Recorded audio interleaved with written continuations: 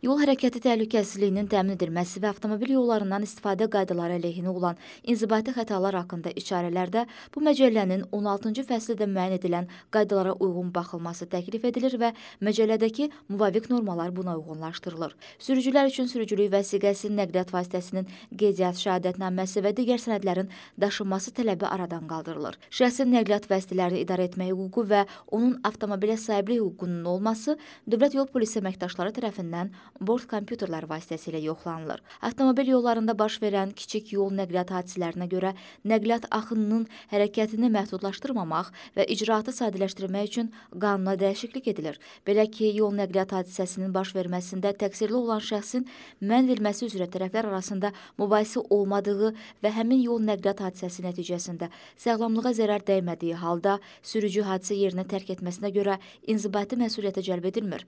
İnzibati xətalar məcəlləsinə dəyişikliyə əsasən şəxs dayanma və durma qaydalarının pozulmasına görə gün ərzində təkrar inzibati məsuliyyətə cəlb oluna bilməz.